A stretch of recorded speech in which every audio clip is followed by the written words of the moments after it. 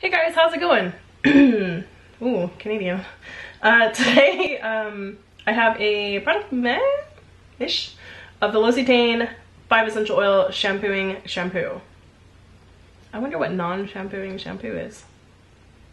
Um, so, when I washed my hair with this, I had um, two washes out of this thing, so I tried it twice. Both times, my hair felt like straw when it was still wet in there and I hate that feeling. Like that is absolutely a signal and I'm going to violently hate this later because it means my hair is going to be super dried out. My hair gets that like, I don't even know how to, it just feels like straw and it feels like when you're trying to like separate and pull it apart, it just kind of like sticks together and it's, uh, normally that is not what I'm looking for. I'm looking for some silky feelings in the shower. this is not what I got. Um, when I got out of the shower, my hair felt fine after I dried it. Um, but I think that's more of a testament to the fact that I use deep conditioning packs and I did use one both times after using this. Um, so I think the moisture was given back to my hair by that and I do use hair oils afterwards um, and whatever. Uh, but my hair was not exceptionally awesome.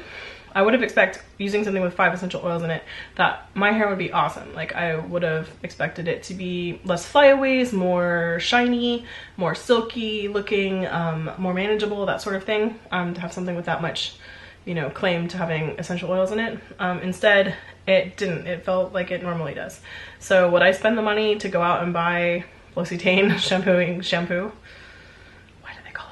Um, with five essential oils um, at a crazy high price when I could spend five bucks on Pantene that makes my hair feel great.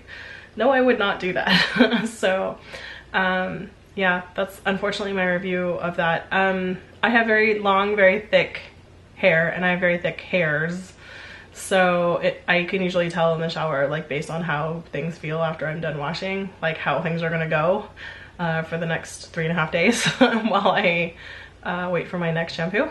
Um, and they were okay, but it wasn't anything exceptional. My hair was uh, like kind of even frizzier a little bit. So um, not a big fan, would give it a meh. Probably would never buy that. Um, if I was given it again to try again, I guess I might try it just to see if I'm crazy.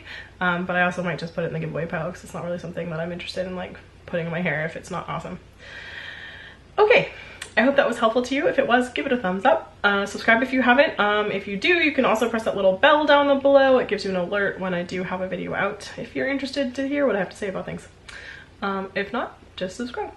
Okay, have a great day. I'll see you guys later. Bye.